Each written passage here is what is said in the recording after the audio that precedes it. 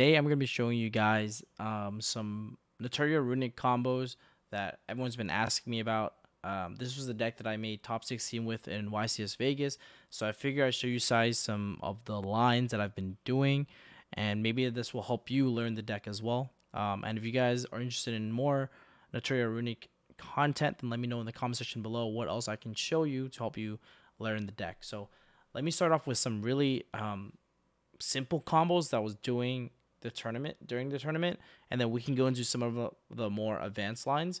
And if you want to see more combos, then let me know because there's like a million possibilities with these hands since um, the deck really utilizes all five cards of your hands and, and the cards you draw to to you know make its end board.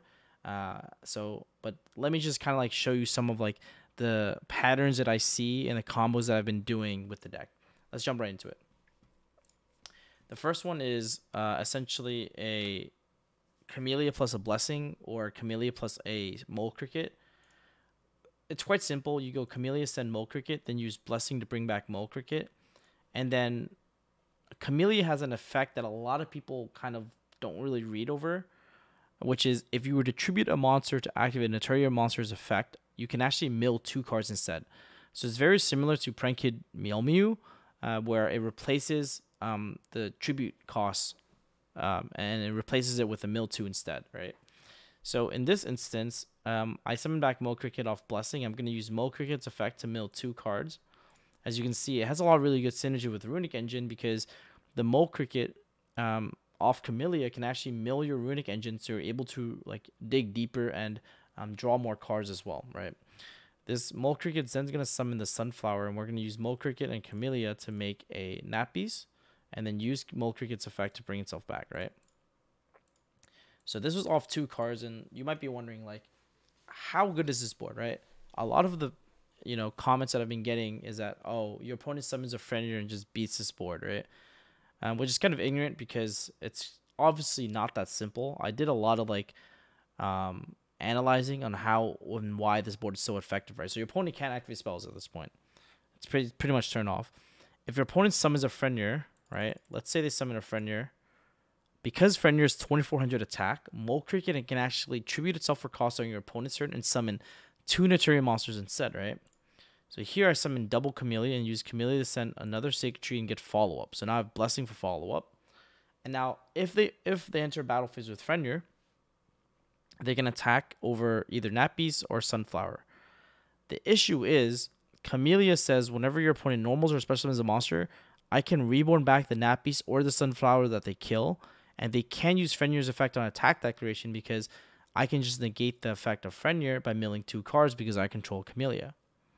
Um, and as you can see, like having double Camellia there means um, they can't just beat over one of the Camellia and turn off Sunflower, kind of. Um, and I also get follow up there. So it's kind of like a nice little um, checkmate that you put your opponent in and what's really cool is that if you hard draw Blessing, then it super doesn't matter what they attack over because Blessing just revives back the Naturia immediately. Um, you can also see this end board is kind of like what I was going for because um, if you hard draw Blessing, you can actually hard make a, a Barkion on your opponent's battle phase by using Camellia and Sunflower, um, which revives back Mole Cricket, um, and negate evenly match as well. So a lot of really cool things you can do um, here just two cards, um, and then maybe three of you hard draw an extra blessing. And that's the main reason why I decided to play three blessing in my YCS list is because hard draw this card makes your board way more um, uh, way more sticky for your opponent to like beat over. Now let's let's look at another replay where in this case um, you realize you're gonna be playing against a trap deck, right? And I think that's one of like the things that people were like, well, how do you make like, how, how do you make Barkion? Well, it's very similar to the first combo. Um, we're going to go Camellia, send, add Blessing, mill two. As you can see, I'm milling like two runicks, summon Sunflower, and here you can just make Barkion. Okay, so you have Barkion, Mole Cricket. Okay, it's really, really hard for the Labyrinth deck to deal with this card, to be quite honest. And if you have Blessing, you can actually revive back Barkion. So whenever you hard draw Blessing, it's like really good. Now, you can see here, if I hard draw a Blessing here, you can actually do something really cool is you can actually make Nappies first, bring back Mole Cricket, then Blessing back Camellia, um, and then use Camellia and Sunflower to make Barkion. what's even cooler is um, if you take it a step back, um, when you had Camellia and Sunflower on the board, I'm sorry, you can actually hold the blessing in your hand, set it, and pass with Sunflower, Mole Cricket, Beast. Um, if you realize your opponent's setting five, you can actually go Mole Cricket tagging the Chameleon their turn, send another Sacred Tree, get another follow piece, and at end phase, you can actually use Naturia Blessing to quick Synchro into a Barkion, and then bring back Mole Cricket again. Um, so you can see that like you know, the the power of like you know, like Blessing, the and the Naturia engine, and why I think it was like really really good. Um, and this board was achieved quite a lot to be quite honest, and um, even though it seems like oh it's a two card combo, you also have to factor in the fact that with your runick engine you're drawing a lot, a lot, a lot of cards, and so um, even though it seems like it's a two card combo, um, you actually draw many pieces of this combo as you keep playing. I mean it's quite easy to like you know do this. So yeah. Now let's see if I can show you guys a runick combo where you open one runick card, any runick card plus one sacred tree, right? And so sacred tree, you know, might be a brick um, in other versions of Naturia, but in the runic version, it's really nice because it's a free discard of Hugin, right? So you see right here, I'm going to add Fountain, um, and then add Mole Cricket. I'm going to summon Mole Cricket, tag itself out into Camellia. Camellia is going to send Sacred Tree, add Blessing, okay? At this point, I have a bunch of options. I can reborn back the Mole Cricket, make Nap Beast, reborn back Mole Cricket, and then pass here if I choose to. But I can also just go for a Charge Warrior to draw a card. Now, at this point, what's really nice about this is that if you draw any runick card, um, you get two free draws, right? So that's something to factor in as well. I think um, because I play 15 runick cards, the odds of opening two is quite high. It's about 50%, maybe a little bit more. Um, but in the hands of you open one runick card, this gives you a chance to you know draw into your engine to see maybe a second runick.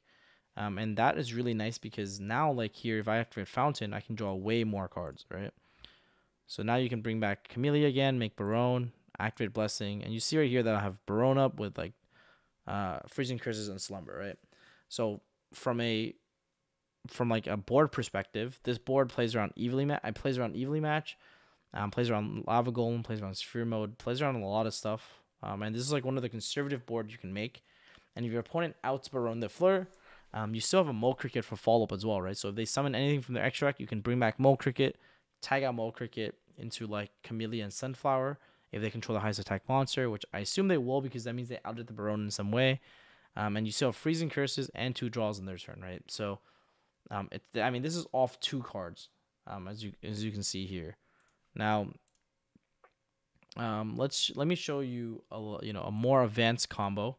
Um, this is if you open like you know, there's a bunch of like three card, four card combos. So, like I said, if you guys want to see more test, maybe test hands or or the three card, four card combos, what you should do, um, because during the tournament, um, I executed my plays really fast. I think anyone who watched me play or anyone during the tournament who played against me will, will know that I played quite fast um, because I have a lot of these lines kind of already figured out prior to the tournament.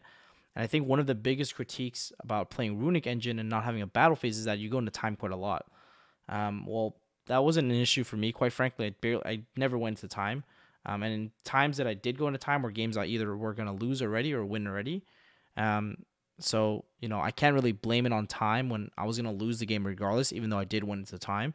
And then the game that I won, um, where where I was higher in life, those games were already like very much in my favor, so it didn't really matter. But but it's important to play fast with this deck and know the combos. You know, um, because game ones and twos you need to play really really fast so you don't lose in time game three. But enough of that rant. Let me show you this three card combo.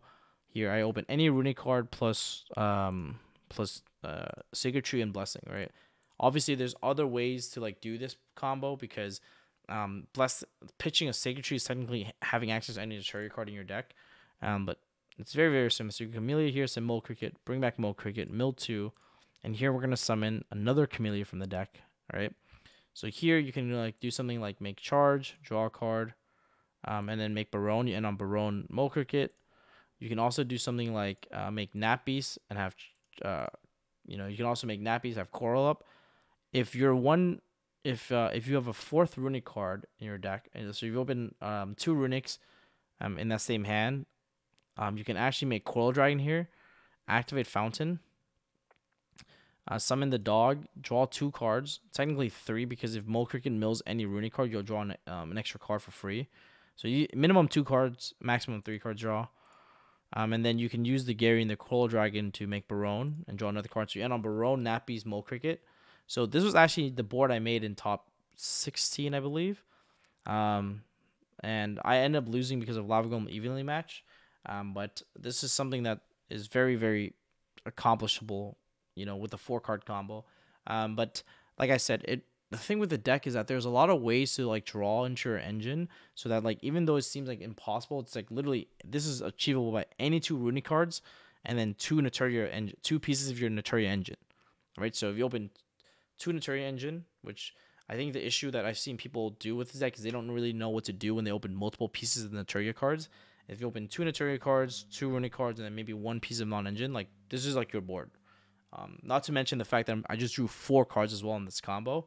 Um, but yeah, I hope this guys helps you. Um, I know it's not like uh, the most straightforward deck, but it's really fun. It's really rewarding. I, I like th- this deck a lot. It, you know, it was honestly just really really fun to play um, this past weekend. So I hope you guys enjoyed it as well. Uh, let comment, like, and subscribe. Um, it will help the channel greatly.